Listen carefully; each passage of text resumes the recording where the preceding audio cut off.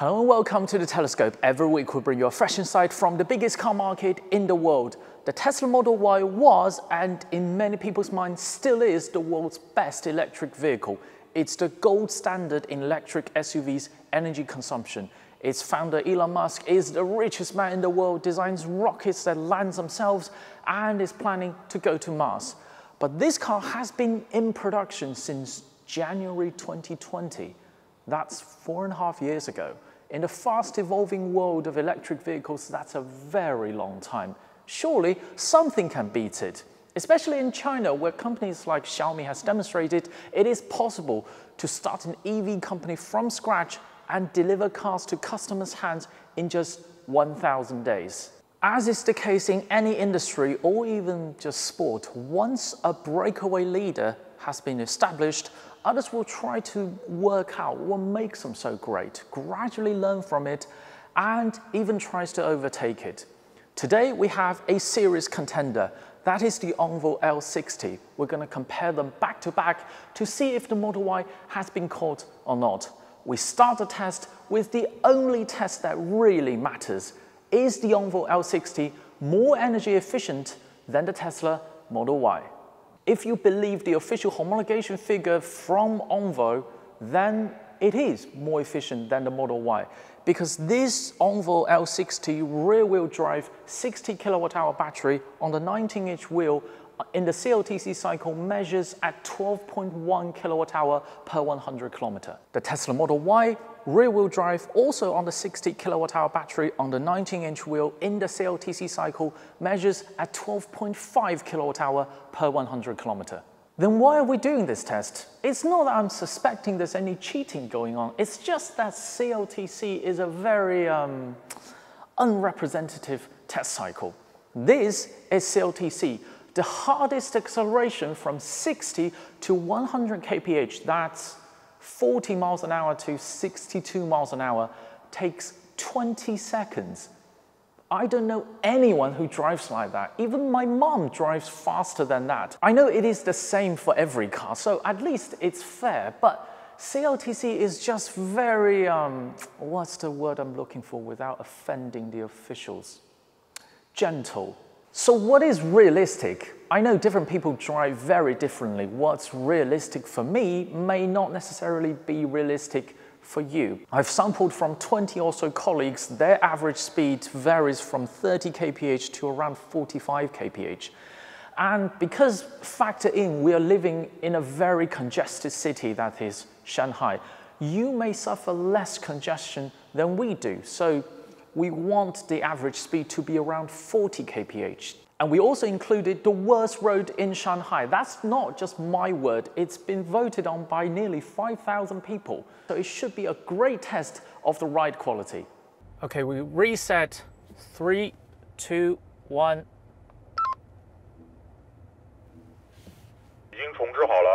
Okay, now Yes, China in general has amazing infrastructure, but not when you're building them. This road, as you can see, is under a lot of construction. This elevated road currently is being built. And it doesn't even make sense to fix this road right now because the amount of heavy duty construction trucks running on this every day, if you fix it now, it will immediately get wrecked again on the same day. The officials say when this elevator road gets finished, they will fix this road. So while it's bad for people living in this area, it's a godsend for car reviewers like me because if you want a reason of why Chinese cars are generally set up towards comfort, this is why. Dynamically, the Onvo L60 is a more relaxed car with a slower steering rack and also a more um, softer suspension.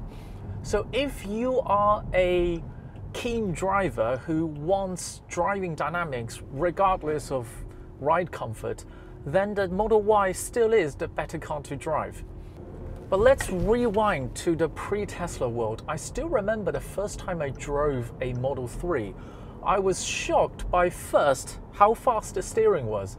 Second, how hard the chassis was. And you have to remember, at that time, I was daily driving a Jaguar F-Type, which is a two-seater sports car. The facelifted Model 3 has a much more relaxed chassis, and I fully expect the Model Y facelift to move in the same direction as the Model 3 facelift, that is, move closer to this car. 我们城市这一段结束了，那个特斯拉报一下你现在是多少？乐道是十二点零。 so at urban speed, 40 kph average speed, the Onvo L60 beats the Model Y hands down. And to be honest, that's kind of expected for two reasons. Firstly, this Onvo L60 is on lower rolling resistance tire than the Model Y, which at low speed accounts for the majority of the resistance. At that kind of speed, um, aerodynamics doesn't really come into it. Second reason is this Onvo L60, unlike Tesla, has braking through regen. That is, the brake pedal will always prioritize regen when you touch the brake pedal the Tesla is on a fixed amount of regen. So every time at, at the urban city speed, if you are touching the brake pedal on the Tesla, then you are basically pumping kinetic energy into the brakes and waste it as heat. That hurts the Model Y at urban speeds. Well, you could say you should always anticipate a distance and correctly judge it and use the one pedal regen as much as possible but at urban speeds, it's always difficult to judge. You never know. Sometimes that emergency stop just comes out of nowhere, and on the Tesla, you're wasting energy. So that is the low speed taken care of. But we are also going to have a very representative high speed section. China's highway speed limit is 120 kph. So we've specially selected a stretch of 120 kph nearly empty, straight piece of highway. And we're gonna reset the trip computer after we go past the tow station. So this is as high speed as we can get around Shanghai. Let's see how these cars get on. 在前方汇入主路之后，这一个四个车道都有限速标牌的这个位置，重置小吉利车，好吧？好的，好的。收到，收到。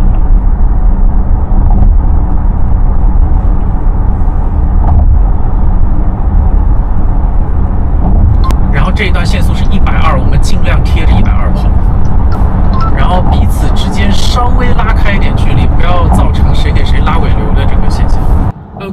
OK，呃，我们现在下高架了三十六点六公里，二十一分钟。你们现在能耗是多少？乐道是十四点五，十四点五。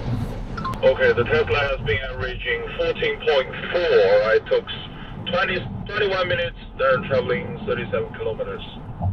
So as the highway section finishes, we're going to take the measurements on the screen. That is the Tesla at 14.4 kilowatt hour per 100 kilometer, just beats the Onvo L60 at 14.5. So unless you drive almost exclusively on the highway, then the Onvo is the more efficient electric vehicle we can see the Model Y comparatively gets more efficient as the speed builds up. That, in my opinion, is partially down to the difference between the CLTC and the American EPA cycle. The Onvo L60 is primarily designed for China, so it's only natural that it optimizes for the more low speed biased Chinese CLTC cycle. This Model Y is primarily designed for the US market, so it's only natural that it optimizes for the more high-speed biased American EPA cycle. Hence, this car has more of a focus on high-speed efficiency. And the Model Y also has a slight advantage on frontal area. I know we're splitting hairs, but when the difference is so small, every bit of difference matters. It doesn't look like it on paper because these two cars on the maximum dimensions are very close. But if we use the same camera at the same focal length, take pictures from the same distance at the same angle and overlay the two pictures on top of each other, you can see the Tesla Model Y's upper body or the so-called glass house area shrinks a lot more aggressively compared to the Onvo. And that gives it a smaller frontal area. And this advantage will only get bigger when the speed builds up. And as the cabin shrinks even more on the second row horizontally, this Model Y does feel more cramped than the Onvo L60, especially on the second row. And that I think is just what the two different market needs. I've explained in my Volkswagen Tiguan L Pro video why the Chinese consumers cares a lot about rear cabin space. So the Onvo L60 decides to have a bigger cabin and because the CLTC cycle predominantly focus on the low speed, take a bit of hit on the high speed efficiency is well worth it. And let's be perfectly honest, that tiny bit of energy consumption disadvantage compared to the Model Y is going to be more than offset when you consider this CAN battery swap. Now I'm at a Gen 3 station. This is not the fastest Gen 4 station, so it's not going to be two and a half minutes, maybe three or four minutes, but still it's going to be way faster than the Model Y. The Model Y is parking at the 500 kilowatts liquid cooled ultra fast chargers, which is an overkill for Model Y, which peaks at roughly 160 kilowatts. I'm going to start swapping at the same time he start charging. And by the time I finish with a full charge, let's see how much energy the Tesla has put in. Okay? 丁老师，你现在是百分之多少的 SOC？车端三十三， 车端显示三十三。OK，我们现在三二一开始。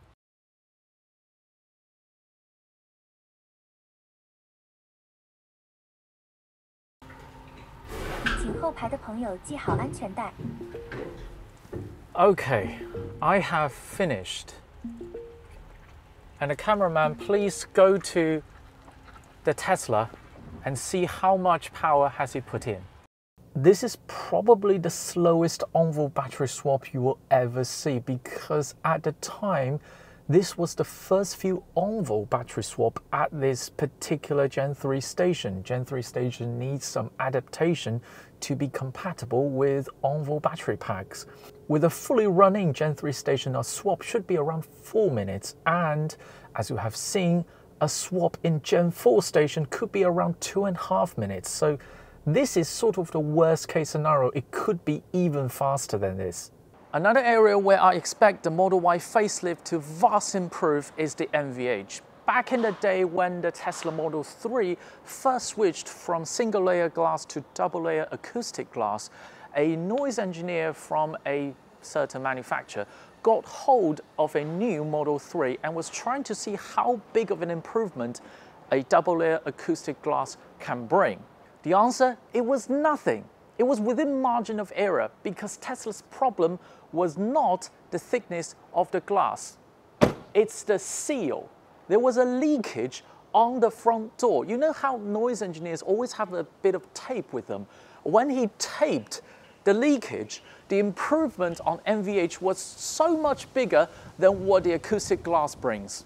And that has been my biggest problem with Tesla. It is amazingly efficient the Onvo L60 four and a half years later only barely edges it out. But it is also poorly made in the most traditional sense of the word.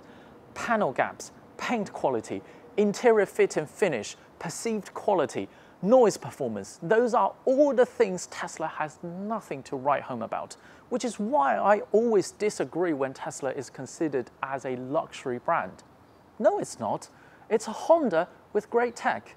I'm not saying this Onvo is the best car that has ever been made, but this is a Chinese made car. We are very good at taking standardized tests. Anything that is easy to measure, easy to judge what's good and bad, we will eventually be very good at those things.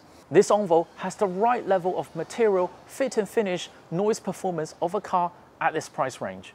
This has an HUD with speed, assisted driving and navigation graphic navigation info straight at your line of sight, which is so much safer than the Model Y. And don't talk to me about first principle that one central screen is enough. It's not that difficult to see the speed info at the top left corner of the screen.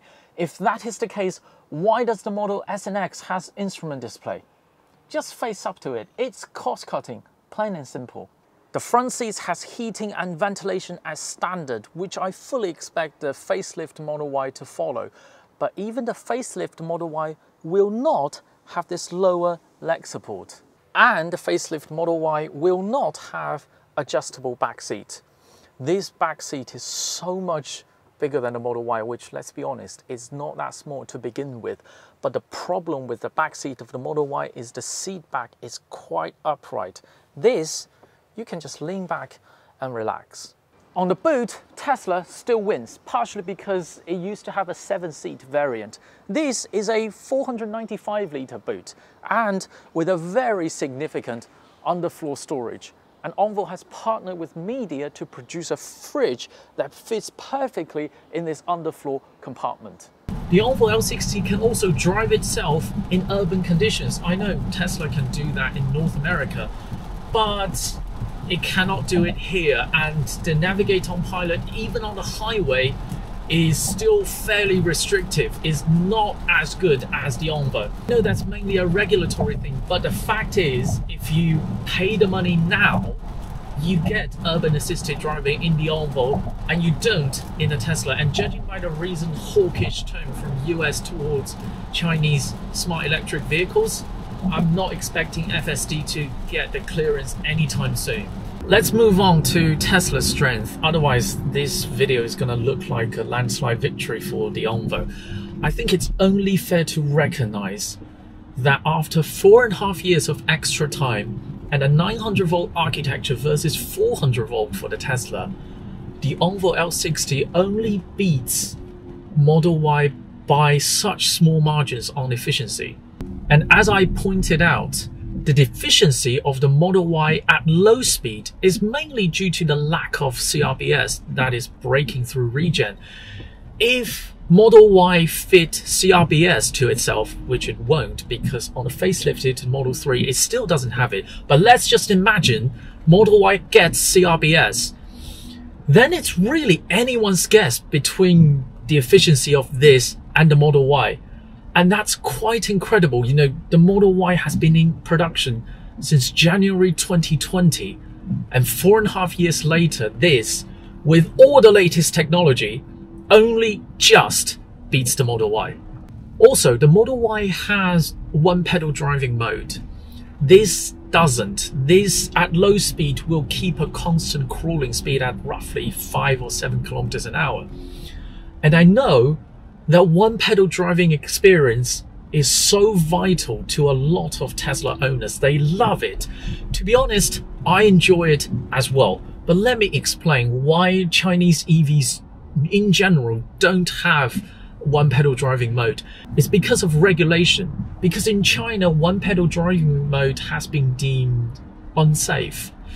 The theory is once you use the throttle pedal to control the speed for long enough time, at in some emergency stop situations, even experienced drivers will go for the throttle pedal, will press the throttle pedal mistakenly because they've been using the throttle pedal to control the speed for so long, and that's potentially dangerous.